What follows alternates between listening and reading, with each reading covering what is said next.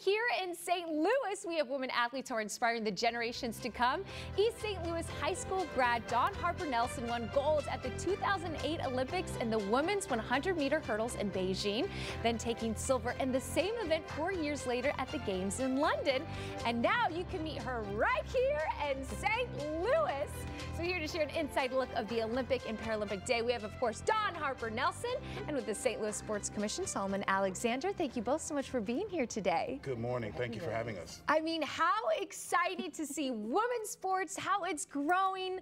And Dawn, that's a big part of, of this event and what you're doing for the St. Louis community. Absolutely. It means so much. I mean, I have two young daughters myself. And so knowing that, like, I've played my part, but now it's time for the next generation and what St. Louis is able to do, the events that they're putting on. Right. Right. I mean, for the 23rd is just amazing. I was part of it last year, and I got to line up with a couple of the youngsters. They want to race, and you see their personalities, yes. but they learn so much from us. You see their eyes just open. They want to be active. Right. This event just brings so much. Right. Well, you're truly an inspiration, and this is going to be an inspiring yeah. event. So, Solomon, let's chat about the St. Louis Sports Commission, why this was important to bring this here to the community. Absolutely. St. Louis is the first North American Olympic city.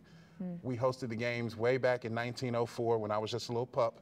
Yes. And we were the first city to have gold, silver, and bronze medals. Uh, we, wow. we, we were the first Olympic Games held here. So there's the history, there's the legacy, and it was all done at our own Washington University, which is where mm. we'll have the Olympic Day celebration this Friday beginning at 11 a.m. Okay, this Friday it starts at 11 a.m. So, Dawn, why don't you give an insight on what people can expect? What you can expect is interaction with professional athletes. I mean, Jackie Joyner Kersee, the insight that you can get. You open the floor to say, ask whatever is on your heart, what's on your mind, that inspiring thing. But to actually be able to touch the track, if they can wrap their heads around mm. this track, meant something so special to so many, to the world, right. right. They get to actually run, play, be on that track with other Olympians. I mean, the sky is just, you realize there's no limit to me, right? right? I can do whatever I put my mind to. And that's really what this event is just about. Kids saying that they have no limit. Wow, Dawn, we should have branded this as a motivational Monday segment. I just, Absolutely. I feel like I'm ready to put on my Absolutely. running shoes. Let's go. okay, so it kicks off on Friday, mm-hmm. and Solomon, this is this is free to attend. Anyone's welcome. This is free for anyone and okay. everyone in the Channel Five viewing area. okay.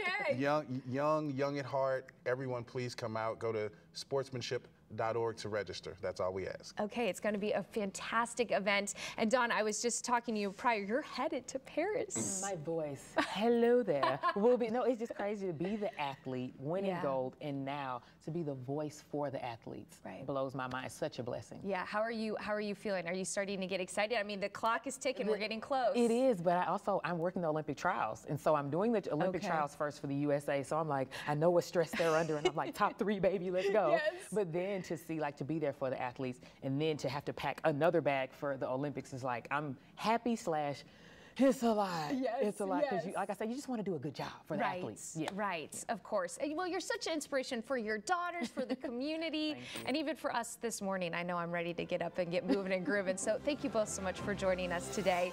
It's going to be a remarkable event. Again, it's free to attend. Come one, come all. It all kicks off this Friday at the Francis Olympic Field on Washington University's campus. Our very own Rennie Knott will be there as MC, so you're not going to want to miss it.